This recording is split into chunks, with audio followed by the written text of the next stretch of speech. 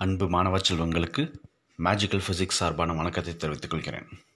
நாம் இன்றைக்கி இந்த காணொளியில் பார்க்கக்கூடிய டாபிக் என்ன அப்படின்றது பார்த்திங்கன்னா formation of image in a plain mirror நம்ம வீடுகளில் அன்றாட பயன்படுத்தக்கூடிய சாதாரண கண்ணாடி முகம் பார்க்கும் கண்ணாடி அந்த பிளைன் மிரரில் என்ன டைப் ஆஃப் இமேஜ் ஃபார்ம் ஆக போகுது அப்படின்ற கான்செப்டை தான் நம்ம என்ன பண்ண போகிறோம்னா இன்றைக்கி இந்த காணொலியில் டிஸ்கஸ் பண்ண போகிறோம் ஸோ இதை பற்றி நம்ம இங்கே படிக்கிறதுக்கு முன்னாடி ஃபர்ஸ்ட் ஆஃப் ஆல் நமக்கு என்னென்ன மாதிரியான டைப்ஸ் ஆஃப் மிரர்ஸ் இருக்குது so what are the different types of mirrors do we have so நம்ம இங்கே டிஃப்ரெண்ட் டைப்ஸ் ஆஃப் மிரர்ஸ் அப்படின்னு நம்ம இங்கே சொல்கிறப்ப வந்து பார்த்தீங்க அப்படின்னா நமக்கு பொதுவாக மிரர்ஸை பொறுத்த வரைக்கும் ரெண்டு டைப்ஸ் இருக்குது அது என்ன அப்படின்னு பார்த்தீங்கன்னா ஒன்று பிளைன் மிரர்னு சொல்லுவோம். இன்னொன்று பார்த்தீங்கன்னா ஸ்பெரிக்கல் மிரர்ஸ்னு சொல்லி சொல்லுவோம்.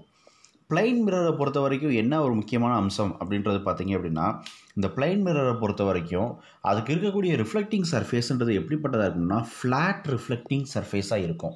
அதாவது அந்த ரிஃப்ளெக்டிங் சர்ஃபேஸ்ன்றது சமமான சமதளமாக இருக்கக்கூடிய ஒரு விஷயத்தை தான் நம்ம என்ன சொல்கிறோம்னா ஃப்ளாட் ரிஃப்ளெக்டிங் சர்ஃபேஸ்னு சொல்கிறோம் அதனால தான் இந்த மி டைப் ஆஃப் மிரர்ஸை நம்ம we just call it as plain mirrors and அதே நேரத்தில் ஸ்பெரிக்கல் மிரர்ஸை பொறுத்த வரைக்கும் அங்கே இருக்கக்கூடிய ரிஃப்ளெக்டிங் சர்ஃபேஸ் எப்படி இருக்கும்னா கேர்வ்டு ரிஃப்ளெக்டிங் சர்ஃபேஸாக இருக்கும். அதாவது பிரதிபலிக்கக்கூடிய மேல் பரப்புன்றது வந்து பார்த்திங்கன்னா வளைஞ்சு இருக்கும். So curved or bent reflecting சர்ஃபேஸ்ன்னு சொல்லுவோம். ஸோ அதை என்ன சொல்ல போகிறோம் அப்படின்னா ஸ்பெரிக்கல் மிரர்ஸ் அப்படின்றத சொல்ல போகிறோம் ஸோ இந்த ஸ்பெரிக்கல் மிரர்ஸ் பார்த்திங்கன்னா ரெண்டு வகைப்படுது. ஒன்று கான்கேவ் இன்னொன்று கான்வெக்ஸ் அதாவது கான்கேவ் மிரர் அப்படின்றது பார்த்தீங்க அப்படின்னா எனக்கு where the bending of reflecting surface is curved inward or the reflecting surface is curved inward அப்படின்னு சொல்லியிருந்தீங்கன்னா அது கான்கேவ்னோ அதே கான்வெக்ஸ் மிரரை பொறுத்த வரைக்கும் where the reflecting surface is bent outward outward வெளிப்புறமாக பெண்ட் ஆயிருந்துச்சுன்னா அதை கான்வெக்ஸ்னும் உள்புறமாக பெண்ட் ஆயிருந்தால் கான் கேவ்னு சொல்லுவோம். ஸோ அப்போ நம்ம டைப்ஸ் ஆஃப் மிரர்ஸை பொறுத்த வரைக்கும் நமக்கு ரெண்டு மேஜர் டைப்ஸு ஒன்று plain mirror and spherical mirrors so நம்ம இன்றைக்கி பார்க்கக்கூடிய விஷயம் வந்து பார்த்திங்க அப்படின்னா பிளைன் மிரர்ஸை பற்றின முழுமையான ஒரு ஐடியா தான் நம்ம இங்கே இன்றைக்கி டிஸ்கஸ் பண்ண போகிறோம் ஸோ ஃபஸ்ட் நம்ம இங்கே பார்க்கக்கூடிய விஷயம் என்ன அப்படின்றது பார்த்திங்கன்னா properties of image formed in a plain mirror நம்ம ஒரு பிளைன் மிரர் மேல் மூலமாக எனக்கு கிடைக்கக்கூடிய இமேஜ் விம்பம் பொறுத்த வரைக்கும் அது எப்படிப்பட்ட விம்பமாக இருக்க போகுது அப்படின்ற விஷயத்தை நம்ம என்ன பண்ணுறோம் இங்கே டிஸ்கஸ் பண்ணுறோம் ஸோ இங்கே பார்த்தீங்க அப்படின்னா ஃபஸ்ட்டு விஷயம் வந்துன்னா வேர்ச்சுவல் அண்ட் எரக்ட் நம்ம ஏற்கனவே இருக்கக்கூடிய காணொலியில் நம்ம முந்தைய காணொலியில் பார்த்தீங்க அப்படின்னா நம்ம பார்த்துருந்த விஷயம் என்னென்னா டைப்ஸ் ஆஃப் இமேஜஸ் அப்படின்னு சொல்கிறப்ப வர்ச்சுவல் அண்ட் ரியல் இமேஜ் அப்படின்னு சொல்லி நம்ம ஏற்கனவே பார்த்துருந்தோம். சப்போஸ் பார்க்கலன்னா இதுக்கு முன்னாடி இருக்கக்கூடிய வீடியோவும் பாருங்கள் அதில் உங்களுக்கு கண்டிப்பான முறையில் புரியும். வேர்ச்சுவல் அப்படின்னா என்ன அப்படின்னு பார்த்தீங்கன்னா எந்த ஒரு மிரர்னால் ஃபார்ம் ஆகக்கூடிய இமேஜை என்னால் ஸ்க்ரீனில் கேப்சர் பண்ண முடியாதோ அதை நான் என்ன சொல்லுவேன்னா virtual image the image which cannot be captured on a screen for example நான் முகம் பார்க்கக்கூடிய கண்ணாடி முன்னால் போய் நின்று தலை சீவுறேன். அப்போ என்னோடய விம்பம் வந்து பார்த்திங்கன்னா கண்ணாடியில் விழுகுது. ஆனால் அந்த கண்ணாடியில் விழுகக்கூடிய விம்பத்தை நான் மறுபடியும் வேறு ஒரு பொருளில் எடுக்க முடியாது. வேறு ஒரு ஸ்க்ரீனில் ஒரு சர்ஃபேஸ் மேலே கொண்டு வர முடியாது. அதனால தான் அது என்னென்னு சொல்கிறோம்னா வர்ச்சுவல் இமேஜ் அப்படின்னு சொல்கிறோம் அதே ரியல் இமேஜாக இருந்தால் நான் இன்னொரு ஸ்க்ரீனில் மறுபடியும் என்ன பண்ணிடலாம் அந்த விம்பத்தை கொண்டு வந்துட முடியும். அப்போ image formed in a plain மிரரை பொறுத்த வரைக்கும் நம்ம மொதல் பார்க்கக்கூடிய விஷயம் என்னதுன்னா வர்ச்சுவல் என்ன டைப் ஆஃப் இமேஜ் கிடைக்கும் அப்படின்னு பார்த்தீங்கன்னா வர்ச்சுவல் இமேஜ் கிடைக்கும். ரெண்டாவது விஷயம் என்னென்னா எரெக்ட் எரெக்ட்னா என்னதுன்னா அப்ரைட் பொசிஷன் அர்த்தம். நேராக இருக்கக்கூடிய இமேஜ் அதாவது ஃபார் எக்ஸாம்பிள் நான் கண்ணாடி முன்னால் போய் நேராக நிற்கிறேன் அப்படின்னா என்னோட இமேஜ் எப்படி தான் இருக்கும்னா நேராக தான் நிற்கும் தலைகீழ இருக்காது. அதை நான் என்ன சொல்லுவேன்னா எரெக்ட் அப்படின்னு சொல்லி சொல்லுவேன். ஏன்னா சில சமயங்களில் சில சூழல்களில் வெவ்வேறு டைப் ஆஃப் இமே மிரர்ஸை யூஸ் பண்ணுறப்ப வந்து பார்த்திங்கன்னா சில இடங்களில் இன்வெர்டட் இமேஜஸ் கிடைக்கிறதுக்கான சான்சஸ் உண்டு. ஃபார் எக்ஸாம்பிள் கான்கேவ் மிரர்லலாம் பார்த்திங்கன்னா இன்வெர்டட் இமேஜஸ் கிடைக்கும். ஆனால் பிளைன் மிரரை பொறுத்த வரைக்கும் வர்ச்சுவல் அண்ட் எரெக்ட் இமேஜ் தான் கிடைக்கும். அடுத்தது வேறு the image formed in the plain mirror is of same size as the object அதாவது என்னென்னா என்னோட ஆப்ஜெக்டோட சைஸ் என்ன இருக்கோ அதே சைஸ் தான் இமேஜோட சைஸும் இருக்கும். உதாரணத்துக்கு நான் கண்ணாடி முன்னால் போய் நிற்கிறப்ப என்னோட உருவம் எப்படி இருக்கோ அதே உருவத்தை தான் அங்கே இமேஜ்லேயும் எனக்கு தெரியும். ஸோ என்னோட உருவம் பெருசாகவும் என்னோட கண்ணாடியில் பார்க்கக்கூடிய உருவம் சிறுசாகவும் இருக்காது. ஒரே மாதிரி இருக்கும்.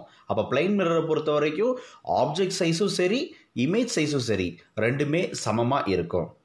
மூணாவது விஷயம் என்ன அப்படின்னு பார்த்தீங்கன்னா at the same distance from the mirror as the object in front of it so நான் கண்ணாடி முன்னால் போய் நிற்கிறப்ப வந்து ஒரு உதாரணத்துக்கு எனக்கும் கண்ணாடிக்கும் இருக்கக்கூடிய டிஸ்டன்ஸ் வந்து பார்த்தீங்க அப்படின்னா ஒரு இருபது சென்டிமீட்டர் அப்படின்னு நினச்சிங்க அப்படின்னா அதே மாதிரி எனக்கு இமேஜ் ஃபார்ம்டு இந்த மிரர் அப்படின்றத பொறுத்த வரைக்கும் அங்கேயே எனக்கு டிஸ்டன்ஸ் எப்படி இருக்கும்னா இருபது சென்டிமீட்டர் தான் இருக்கும். அப்போ distance between the object and the mirror and distance between the image and the mirror ரெண்டுமே எனக்கு எதை குறுக்க போதுனா ரெண்டுமே சமமாக இருக்குது அப்படின்ற விஷயத்த சொல்கிறாங்க அப்போ எனக்கு என்னதுன்னா ஆப்ஜெக்ட் டிஸ்டன்ஸும் இமேஜ் டிஸ்டன்ஸும் சமமாக இருக்குன்னு அர்த்தம். அப்போ where object distance is equal to image distance and last விஷயம் வந்து பார்த்தீங்கன்னா laterally inverted so lateral inversion அப்படின்னா என்ன சார் அப்படின்றது பார்த்தீங்கன்னா ஒன்றும் இல்லை. நான் கண்ணாடி முன்னால் போய் நின்று தலை சீவ போகிறேன் உதாரணத்துக்கு நான் வலது கையை வச்சு நான் க தலை சீவுறேன். ஆனால் என்னோடய கண்ணாடியில் பார்த்தீங்கன்னா அது எப்படி தெரியும்னா இடது கையாக தெரியும்.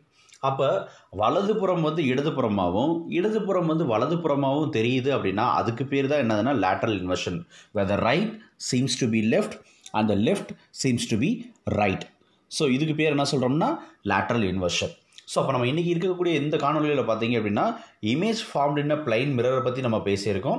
அப்போ நாலு விஷயங்கள் பேசியிருக்கீங்க. இங்கே image form formation of image in a plain மிரர்னு சொல்கிறப்ப ஃபஸ்ட்டு விஷயம் இருக்குது என்ன டைப் ஆஃப் இமேஜ்னு சொல்கிறப்ப real and I mean sorry virtual and erect image so virtual and erect image அப்படின்னு சொல்லி நம்ம இங்கே ரிலேட் பண்ணுறப்ப எனக்கு இமேஜ் எப்படிப்பட்டதாக்குன்னா ஸ்க்ரீனில் கேப்சர் பண்ண முடியாது. அதே நேரத்தில் அந்த இமேஜ் எப்படிப்பட்டதாக இருக்கும்னா எரெக்ட் இமேஜ் நேராக தான் இருக்கும் அப்படின்ற விஷயத்த பேசியிருக்கோம். அண்ட் அதுக்கடுத்து பார்த்தீங்க அப்படின்னா எனக்கு ஆப்ஜெக்ட் சைஸும் இமேஜ் சைஸும் சம சரிக்கு சமமாக தான் இருக்கும் அப்படின்ற ஒரு விஷயத்தை பற்றி பேசியிருக்கோம். அடுத்து மூணாவது விஷயம் வந்து பார்த்தீங்கன்னா ஆப்ஜெக்ட் டிஸ்டன்ஸும் இமேஜ் டிஸ்டன்ஸும் சேமாக தான் இருக்கும் அப்படின்ற விஷயத்தையும் பேசியிருக்கோம்.